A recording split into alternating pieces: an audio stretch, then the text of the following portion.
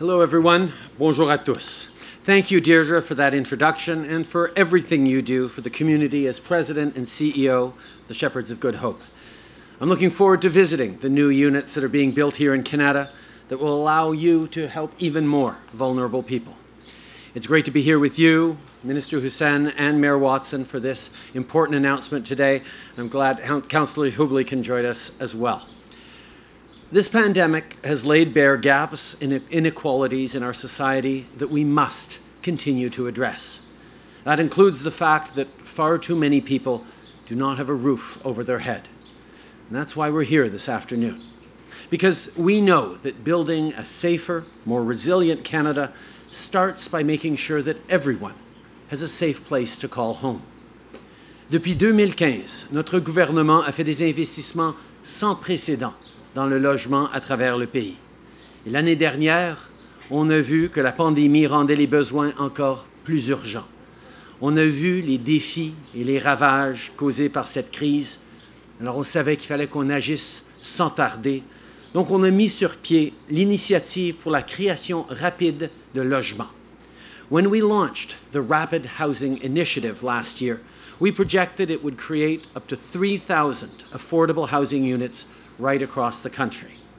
Well, in March, we exceeded expectations, and that number became over 4,700 new units. Well, today, we're reaching even higher. We're investing an additional $1.5 billion in the Rapid Housing Initiative for a total of over 9,200 new homes for Canadians who need it most. That means thousands of people with a safe place to stay thousands of people for whom life will get brighter. We're doing what it takes to make sure that everyone gets a roof over their head.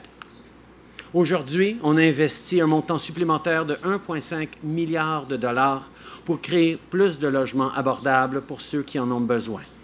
Avec ce nouvel investissement dans l'initiative pour la création rapide de logements, on passe de notre objectif initial de 3 000 logements à plus de 9200 logements, nouveaux logements abordables pour les gens les plus vulnérables.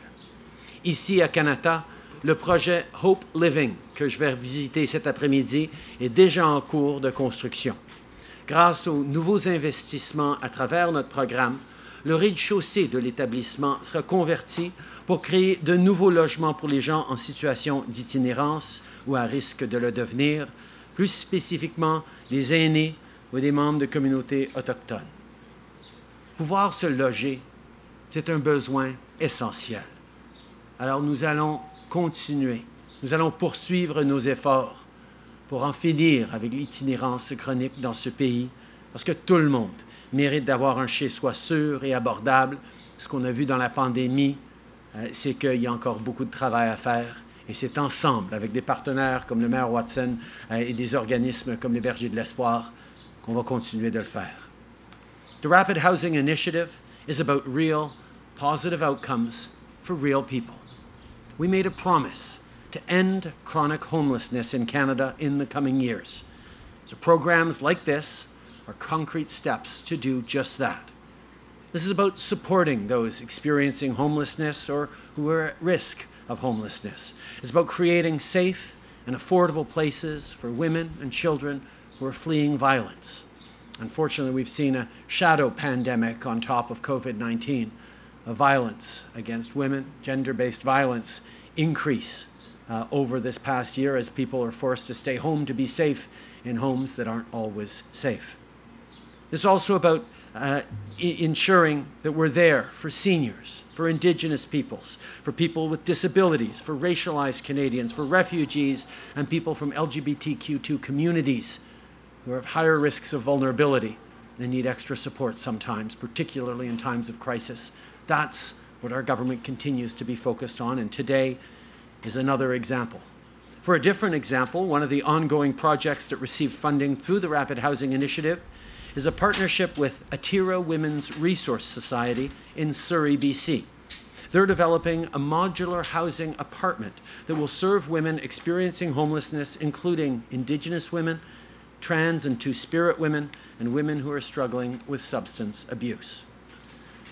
One of the most important transformative things that a government can do is invest in housing. My friend Adam Vaughan often points out that housing isn't just a problem, it's also a solution. Because with a roof over their heads, people can live a better life. They can get a good job and support their family. It's good for our communities, it's good for our economy. It creates and supports good construction jobs, but mostly it creates opportunities for everyone. And it's part of our plan to create 1 million jobs to drive Canada's recovery. Rebâtir en mieux, c'est de faire en sorte que nos communautés soient plus en sécurité et que notre économie soit plus forte. C'est aussi de s'assurer que personne ne soit laissé pour compte. Avec l'annonce d'aujourd'hui, on poursuit nos efforts pour créer plus de, logements, plus de logements abordables et plus d'emplois pour la classe moyenne, des éléments essentiels de notre relance et de notre avenir. Et on se rapproche de notre objectif d'éliminer l'itinérance chronique au Canada. Before I finish today, I want to say a few words first about the heat wave in Western Canada. The temperatures recorded this week are unprecedented. Lives have been lost, and the risk of wildfires is at a dangerously high level. Our thoughts are with people who've lost loved ones. Yesterday, I spoke with Premier Horgan of British Columbia. Minister Blair spoke with Minister Farnworth of BC. The federal government, as always, is here to help in any way that we can. But today and for the coming days, let's continue to make sure we're there for each other. So check in with your neighbors to make sure that the senior in your building is doing well. Check in with your loved ones. We've seen more and more of this type of extreme weather event in the, in the past years. So realistically, we know that this heat wave won't be the last. That's why investing in good, safe housing for the most vulnerable is so important. Je tiens aussi à souligner que notre nouvelle loi sur le climat a été adoptée par le Sénat hier. Cette loi s'assure que le gouvernement du Canada respecte ses engagements et ses cibles afin de réduire les émissions jusqu'à ce que notre pays atteigne la carboneutralité.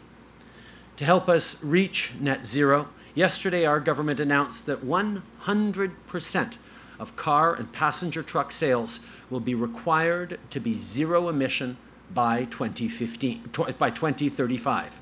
This will mean less pollution and more innovation. We know that this is where countries around the world are already going. So, as we already have with automakers in Ontario and elsewhere, we're going to continue to work with industry partners to position Canada as a global leader for electric vehicles and clean energy. Together, we will make our air and our economy cleaner for now and for future generations.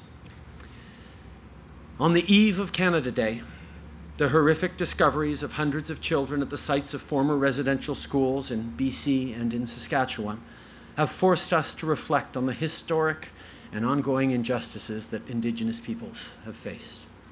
Our government continues to be there to acknowledge the truth so that we can chart a better path forward in the spirit of reconciliation. Today, I also want to talk about the arson and vandalism we're seeing across the country targeted at Catholic churches. This is not the way to go. The destruction of places of worship is unacceptable, and it must stop. We must work together to right past wrongs. Everyone has the role to play not just institutions and organizations, but all Canadians, Indigenous and non Indigenous, need to take tomorrow, yes, to celebrate the country that we are, but also to reflect on all the work we need to continue to do and understand with respect and compassion that some of our fellow Canadians don't feel like celebrating tomorrow. And we need to pledge to ourselves and to all Canadians that we will be part of working together to build a better future for generations to come. We will work together to right past wrongs. That's what we'll continue to do.